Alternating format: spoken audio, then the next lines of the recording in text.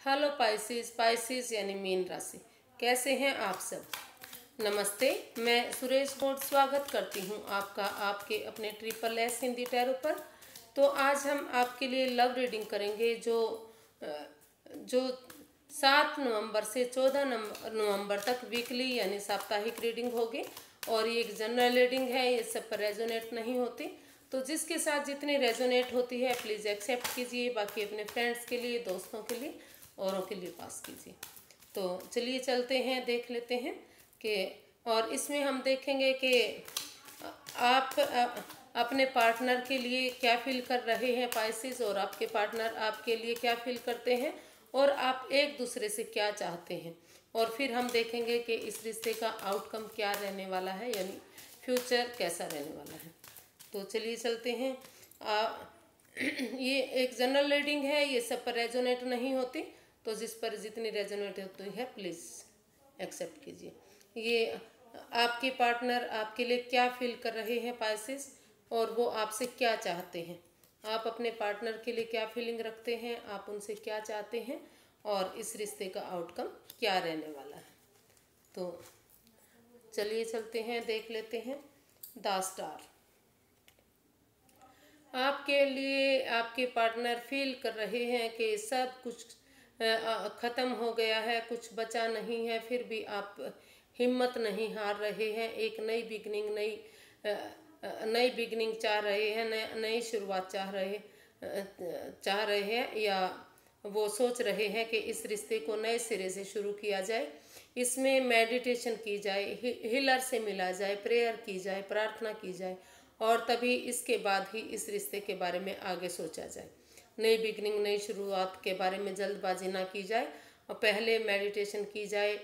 और अगर ऐसा सब कुछ किया जाए मेडिटेशन करते हैं, किसी हीलर से मिलते हैं, किसी और प्रार्थना करते हैं, भगवान में आस्था लगाते हैं तो हो सकता है कि रिश्ता आगे जाकर अच्छा हो सकता है, बढ़िया हो सकता है, ऐसा आपके पार्टनर आपके लिए फील कर रहे हैं पाइसिस तो वो आपसे चाह रहे हैं कि इस रिश्ते, सोच रहे हैं कि इस रिश्ते में आगे बढ़ने से पहले, नई बिगनिंग नई शुरुआत से पहले जो सब कुछ ख़त्म हो गया है, जो कुछ बचा ही नहीं है इस रिश्ते में तो फ्यूचर को ब्राइट बनाने के लिए, अपने रिश्ते को मज़बूत बनाने के लिए इसमें हीलिंग की जाए। डीप वाली हीलिंग की जाए, तभी इस रिश्ते को गोल्डन बनाने के लिए स्टारिंग बनाने के लिए वो सोच रहे हैं, इसके बारे में हीलिंग चाहते हैं। तो आपके पार्टनर आपसे क्या चाहते हैं पाइसिस आपके पार्टनर कहीं ना कहीं चाह रहे हैं कि अगर आप इस रिश्ते में एक नई शुरुआत चाहते हैं, एक बिगनिंग चाहते हैं तो जो पीछे चला गया है, उसकी टेंशन ना लें, उसको बार बार उसमें कन्फ्यूज़न ना क्रिएट करें, आप सोमेलिया जैसी प्रॉब्लम ना बनाएँ। वो चाहते हैं कि इस रिश्ते से, इस परेशानी से, इस दुविधा से आप बाहर निकलें।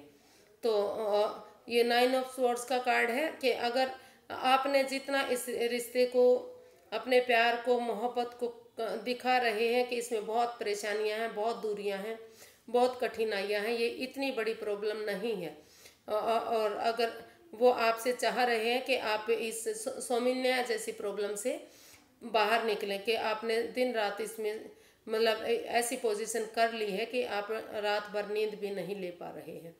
तो इससे, वो चाहते हैं कि आप इससे बाहर निकलें इसको इतनी बड़ी बात ना बनाएँ, इतने इश्यूज़ ना बनाएँ कन्फ्यूज़न पैदा ना करें टेंशन ना लें और इससे बाहर निकलें और डीप हीलिंग के साथ प्रेयर मेडिटेशन के साथ इस रिश्ते को आगे उसके बाद उसके बाद ही डीप हीलिंग और मेडिटेशन के बाद प्रेयर के बाद इस रिश्ते को आगे बढ़ाने की कोशिश करें।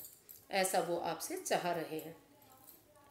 नाइट ऑफ़ स्वर्ड्स तो आप अपने पार्टनर के लिए क्या फील कर रहे हैं? तो आप अपने पार्टनर के लिए फील कर रहे हैं कि वो कहीं ना कहीं इस रिश्ते में जल्दबाजी कर रहे हैं। को अगर जल्द कोई जो प्रपोजल बार बार प्रपोजल के लिए बोल रहे हैं, रिश्ते को आगे बढ़ाने के लिए बोल रहे हैं, शुरुआत करने के लिए बोल रहे हैं तो इसमें जल्दबाजी नहीं करनी चाहिए। ऐसा वो फील करते हैं कि समय के साथ एक्शन लिया जाए, समय पर रह, समय रहते एक्शन लिया जाए, लेकिन इसमें कोई जल्दबाजी ना की जाए। सोच समझकर इसमें एक्शन लिया जाए जोश में होश ना खोया जाए इस इसको सोच समझकर आगे बढ़ाना चाहिए। सोच समझ कर इस रिश्ते के बारे में सोचा जाए। जो जो इस रिश्ते में शुरुआत है, जो बिगनिंग है, वो अच्छे तरीके से की जाए। नहीं तो आगे जाकर, फ्यूचर में जाकर ये रिश्ता ख़राब हो सकता है या दूरियाँ पैदा हो सकती हैं अगर जल्दबाजी की गई तो। तो वो इसमें जल्दबाजी नहीं करना चाह रहे, वो सोच रहे हैं कि समय रहते इस रिश्ते के बारे में खुलकर बातें की जाए। और उसके बाद इस रिश्ते के बारे में, आगे के बारे में बढ़ाया जाए, ऐसा वो फील कर रहे हैं।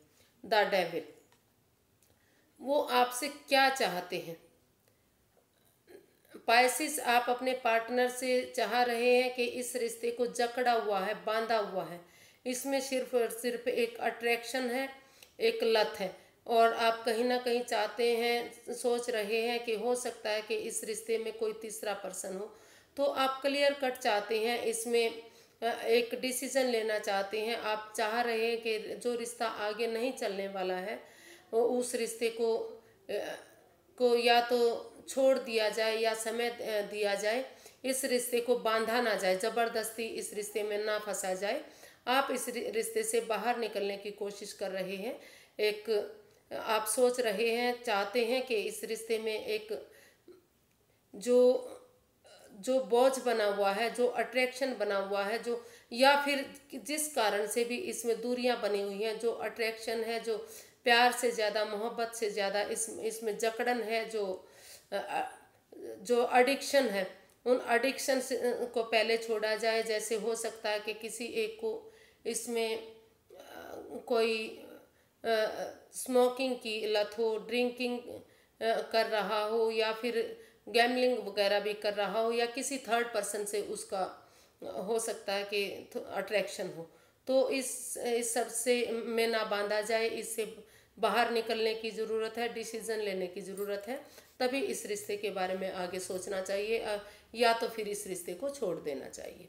इसमें जल्दबाजी नहीं करनी चाहिए, उसके बाद ही कोई एक्शन लेना चाहिए डिसीज़न के बाद ही।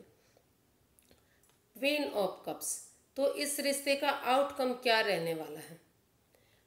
अगर आप बैठ कर बातें करते हैं, डिसीज़न लेते हैं, प्यार भरी बातें जो बीत गया उसको भुलाकर अगर आप नई शुरुआत, नई बिगनिंग कर सकते, करते हैं एक डीप फीलिंग के साथ प्रेयर के साथ, और जो लोग ऑलरेडी इस रिश्ते के बारे में जानते हैं तो उसके बारे में कागजात वगैरह देखकर आपस में पता करके अगर आप इस रिश्ते को आगे बढ़ाते हैं तो ये रिश्ता आपके लिए अच्छा हो सकता है। ये प्यार भरा रिश्ता हो सकता है, ममता भरा रिश्ता हो सकता है, लेकिन आपको शेयर करने की ज़रूरत है। आप दोनों को जो आप शेयर नहीं कर रहे हैं, एक दूसरे से छिपा रहे हैं उन बातों को खोलने की आपको इसमें ज़रूरत है। तो आपका रिश्ता अगर ऐसा करते हैं तो आगे जा सकता है। आज के लिए बस इतना ही फ्रेंड्स, अगर आपको मेरी वीडियो थोड़ी सी भी पसंद आती हैं तो प्लीज़ लाइक कीजिए, शेयर कीजिए, सब्सक्राइब कीजिए। और कमेंट्स करना बिल्कुल मत भूलिए, क्योंकि इससे मोटिवेशन मिलता है, हेल्प मिलती है। और अपना प्यार और आशीर्वाद मुझ पर बनाए रखिए। फिर एक नई वीडियो के साथ मिलेंगे। तब तक के लिए नमस्ते। Thank you so much.